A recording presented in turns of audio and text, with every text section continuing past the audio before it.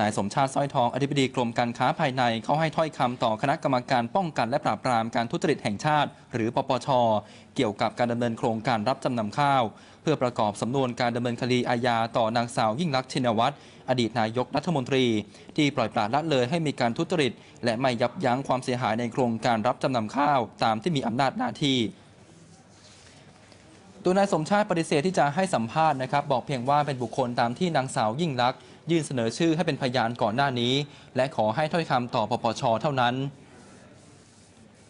คณะกรรมการปปชมีมติให้ไต่สวนข้อเท็จจริงเพิ่มเติมถึงความเสียหายที่เกิดขึ้น ในช่วงที่นายนิวัฒน์ธรรมรงบุญทรงไพศาลอดีตรองนายกรัฐมนตรี และรัฐมนตรีว่าการกระทรวงพาณิชย์ โดยให้ไต่สวนพยานบุคคลที่เกี่ยวข้องอีก 4 คน